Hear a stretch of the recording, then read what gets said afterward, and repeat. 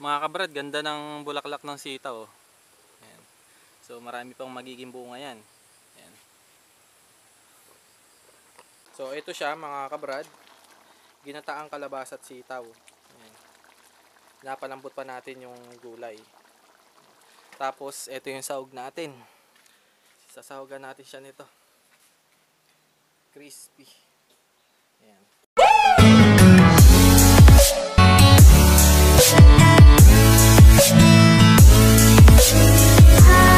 So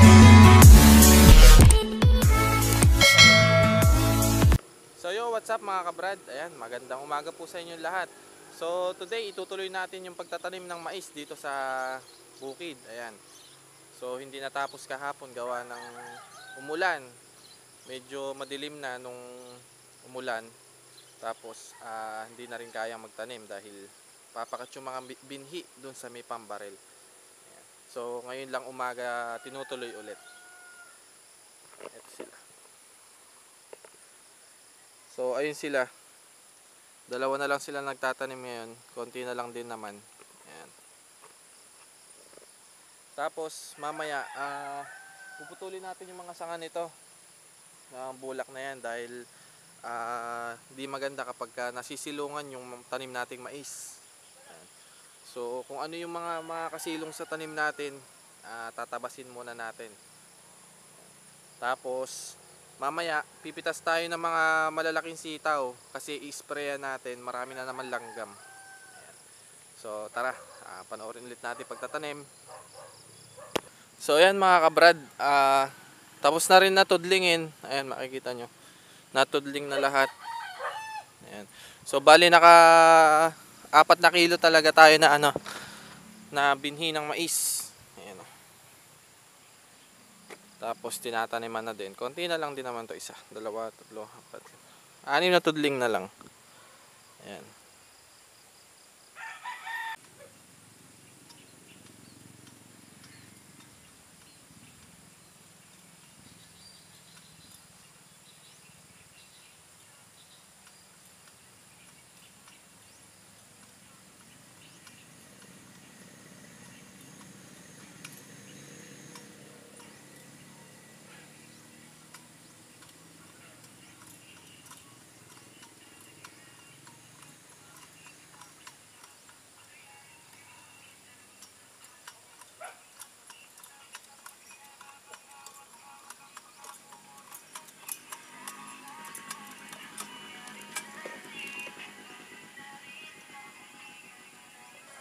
So yun mga kabrad, ah, konti na lang yung tataniman, isang tudling na lang siguro. So itatry natin tayo naman yung magbabaril ng ano ng mais. Ayan. Yeah, dapat na ako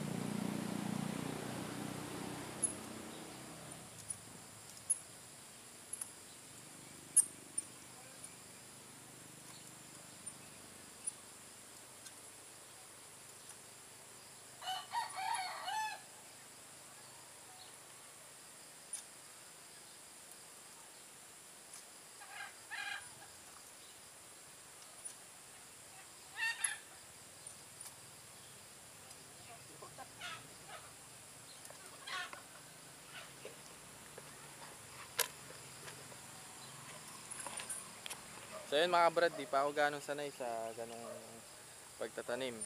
Dati kasi yung pagtatanim, yung ibubusbus mo yung binhi, tapos papatirin na ganon. Pinapatid lang na ganito. Sila, kabilis nilang magtanim.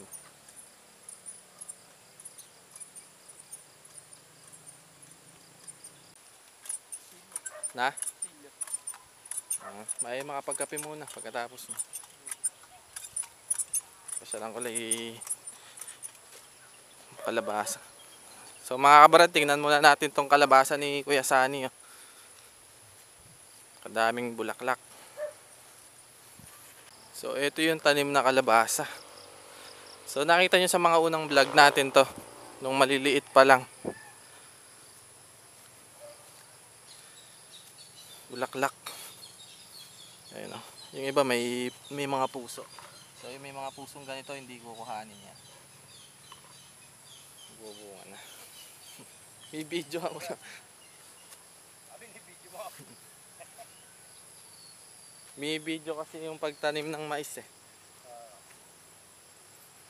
Sa bulaklak. Sige po. Binebenta niyo po ba yan? Oo, kung Dami din. pag may halong kwan. Pag alang halong talbos, hindi rin gano'ng ma bibili.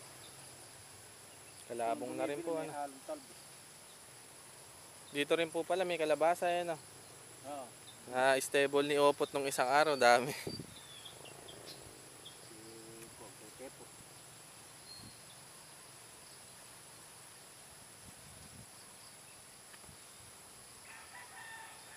So yan, mahaba yan. Yung kalabasahan na yan.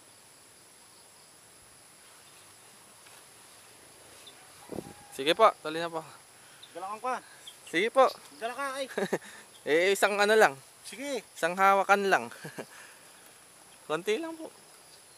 Ah. Thank you po. So ayan, binigyan pa tayo ng bulaklak ng kalabasa ni Kuya Saan. Malang talbos. Paubos na lang. Sige po, thank you po. Ayan. Sasama natin sa buong kalabasa na, na binigay sa atin nung ipinsan natin na nag-stable nung isang araw. Ayan.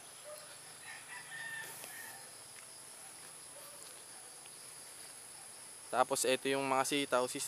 Pipitasin natin yung medyo malalaki na bago natin isprayan. I-sprayan natin yan.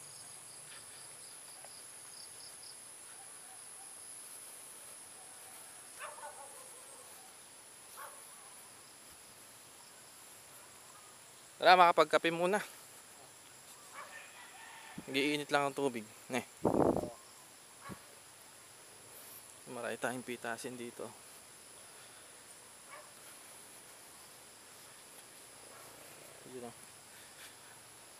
Pagkapitas natin ng sitaw, ah, i-spray na natin. Napakaraming langgam. Mga langgam niya halos na dito sa mismong bulaklak. So mga kabrad, uuwi muna tayo. Magiinit muna tayo ng tubig. Ayan. Pagkakapihin muna natin yung mga nagtanim.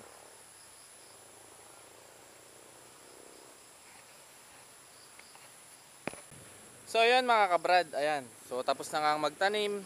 Okay na rin, nakapagkape na rin sila. Umuwi na sila.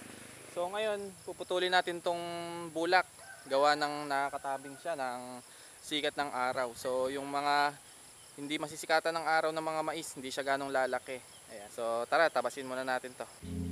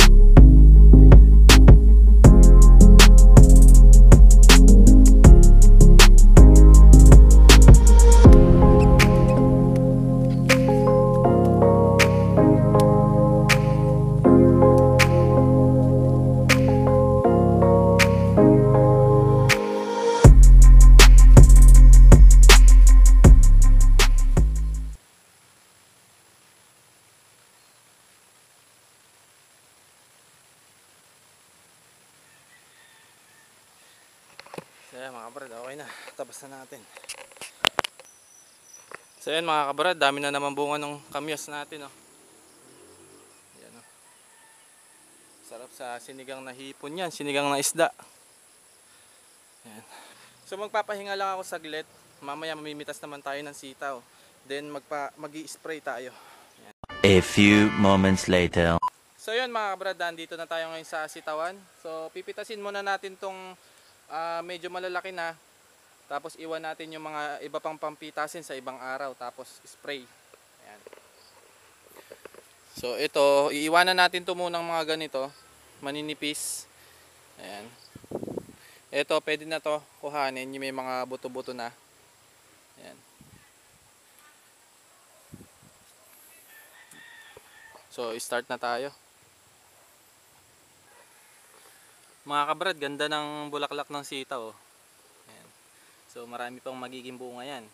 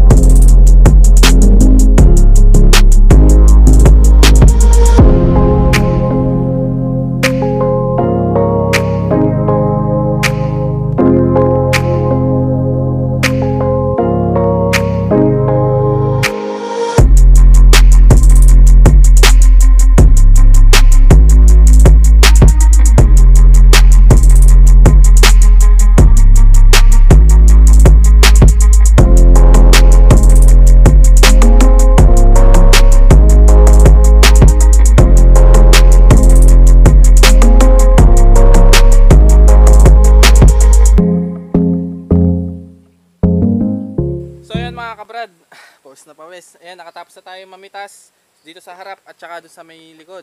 So kukunin natin yung mga iba pa natin na napitas. Bababa ko muna pala dito. Yan yung iba. Tapos kukunin pa natin yung mga ibang naka ano dito.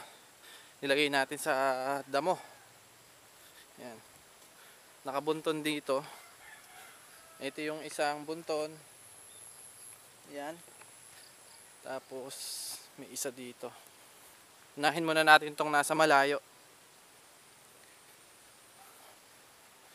Mais natin ayan oh. Ito yung isa. Yung, yung dalawa ba? Meron pa ba dito?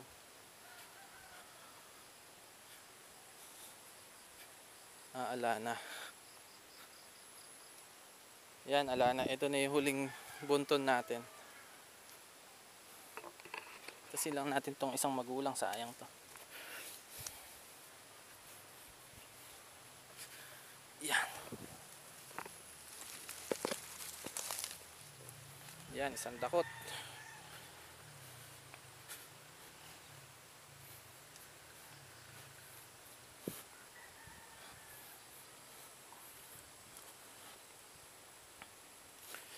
Tapos ito pa yung bunton na isa. Oh. Dami din ah. Yeah. Hindi na natin kaya dakotin.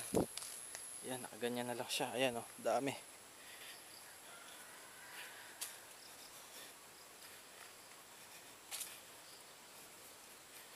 Kukunin ko pa tong iba na to. Oh. Nakalimutan ko kanina. Hindi natin napitas. Oh, ito pa. Yan. Oh, dami din. So yun mga kabrad, ayan, nakatapos na tayong mamitas ng sitaw. Ito lahat na napitas natin. Oh, isang sulong. Ayan. Tapos mamaya maya, ah, sprayan na natin dahil sobrang dami ng langgam. sakit mga gat, mga pulang malalaki. Ayan, iuwi lang muna natin to. So yan mga kabrad, ito yung mga napitas natin na sitaw oh. Dami. Siguro mga nasa 400 pieces din to. Ayan. Tapos ito yung kalabasa na tawag dito binigay sa ating kahapon tapos ito kanina. So yan mga kabrad. Ah, pinipilian na ni Lolo. Bebenta natin yung iba. Yan oh, dahil natin na pitas. Bibigkis natin, tatali natin ng goma. Dadali natin sa palengke. Si Lolo.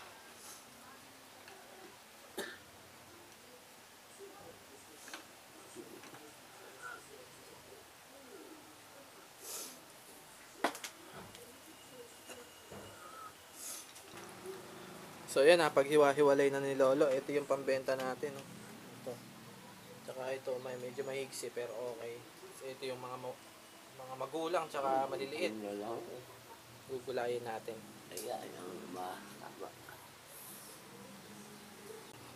So yun mga kabrad, ayan bago tayo mag-spray, ah, nagluto muna ako ng pananghalian namin. So niluto ko yung sitaw tsaka yung kalabasa. So ito siya mga kabrad, ginataang kalabasa at sitaw. Ayan. Napalambot pa natin yung gulay. Tapos ito yung sahog natin. Sasahogan natin siya nito. Crispy. Ayan. So yung baboy na yun, yung frozen na nabibili sa palengke, mura lang yun. Nabili ko lang siya ng ah, 80 pesos. One eternity later. So yun mga kabrad, good morning. So hindi tayo nakapag-spray kahapon, gawa ng maraming ginagawa. So ngayon mag spray tayo. So ayan yung gamot na i-spray natin. Ayan, brudan. Ayan. So ito, may timpla na to. Ah, punta na tayo sa sitawan. So ayan mga kabrad, nandito na tayo sa sitawan. So start na tayo mag-spray. So malanggam kasi. Kaya tayo mag-i-spray ngayon.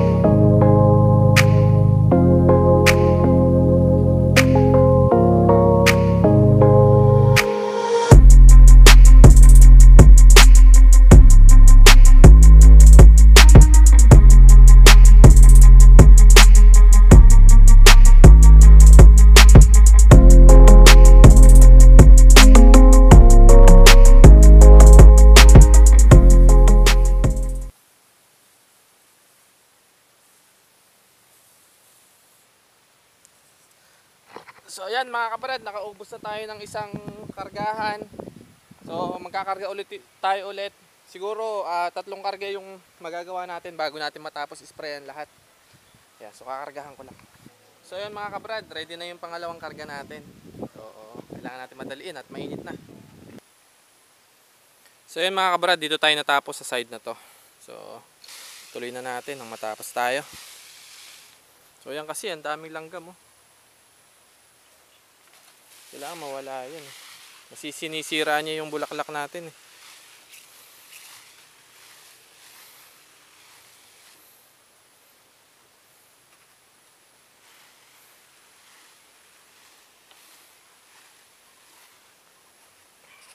So ayan mga brad, nakatapos na tayo. So itong karga natin na to, pangatlo na to. Ayan, di lang natin na video kanina. So natapos na natin hanggang sa likod. Ayan. Binalikan na natin yung sa likod niya, natapos na rin natin. Ayan. Tapos pagka ano, ah, lalagyan naman natin ng pataba. Ayan, para gumanda yung bunga niya. Ayan. So, uwi muna ako mga kabrad para makakain tayo. Mapakain na rin natin si Lolo. Makainom ng gamot. Ayan. So, ayan mga kabrad. Ayan, nakatapos na nga tayong magtanim. Ayan. So, andito ako ngayon sa taas. So, ah, sa tabing daan tayo. Ayan. So, ginagawa ko tong bubong. Itong dating tindahan. So, lalagyan natin siya ng piso wifi. Ayan. Kasi masyadong malaki yung binabayar natin sa internet. Hindi natin na susulit. So, nagbabayad tayo ng 1625. Tapos, dalawang cellphone lang nagagamit natin. So try natin maglagay ng piso wifi para at least ah, kung sakaling kumita, makabawas-bawas sa bayarin natin sa internet. So yan mga kabrad, ah, update ko na lang kayo ulit sa tanim natin na mais at saka sa sitaw. Ayan. So yan bago tayo matapos, ah, shoutout lang po muna natin yung mga nakasuporta sa atin dyan. Kay Tolbads Isaac ng California, kay Ma'am Tess and Larry from Florida, kay Ma'am Risa, ayan. Kay Akira Motovlog, Kahingal TV, ayan. At saka kay Idol Lester Cruz, ayan, lagi nakasuporta sa atin yan. At saka nga pala kay Ma'am Jane, Mrs. Tongs TV, ayan, maraming maraming salamat po ayan, sa suporta nyo. Ah, sana wag po kayo magsasawa sa aking mga vlogs, ayan, patuloy lang pong suporta. Ah, hanggang dito na lang, abangan nyo ulit yung susunod ulit natin na vlog. Salamat!